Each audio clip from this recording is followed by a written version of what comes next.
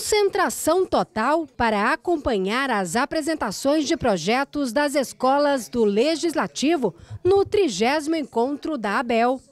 O primeiro projeto apresentado foi o da Escola do Legislativo do Paraná. Em seguida, Acre e Rio Grande do Sul.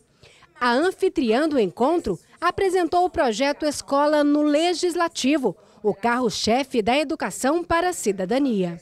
A formação cidadania é uma formação contínua, né? E nada melhor para trabalhar a cidadania com a criança, que está na fase de formação, de personalidade, de caráter. E é justamente isso que a gente se propõe. Trabalhar a cidadania, a participação política desse estudante na, na comunidade que ele faz parte, na sociedade e também junto ao espaço onde ele vive. No encontro nós temos, as escolas têm a oportunidade de, em 10 minutos, apresentar algum projeto seu.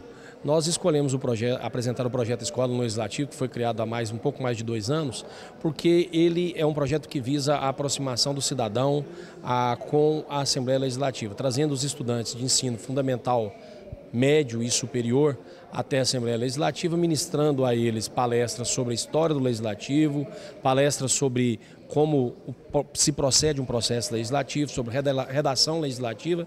E esse projeto ele é inovador é, na forma com que ele é realizado aqui em Goiás e nós estamos apresentando aqui para as demais escolas do Brasil.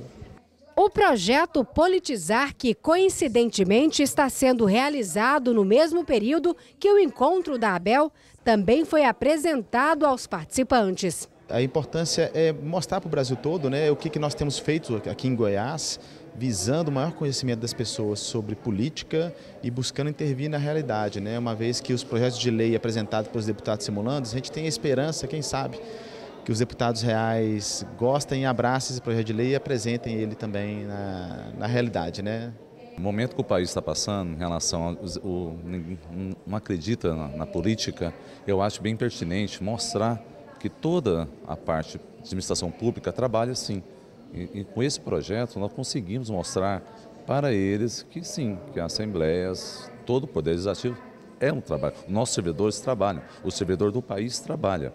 Para os participantes do 30 encontro da Associação Brasileira das Escolas do Legislativo e de Contas, a apresentação dos projetos é fundamental neste processo de troca de experiência. Para mim está sendo muito importante porque a nossa escola legislativa era muito jovem, né? nasceu ela em 22 de junho desse ano.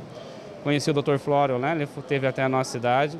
E essa troca de experiência, inclusive agora há pouco mesmo aqui no café com a palestrante, né, a última palestrante, a doutora Natália, é, fez a gente entender muitos processos que a gente estava pensando em fazer de forma equivocada, errada, e agora vai conseguir fazer da maneira correta.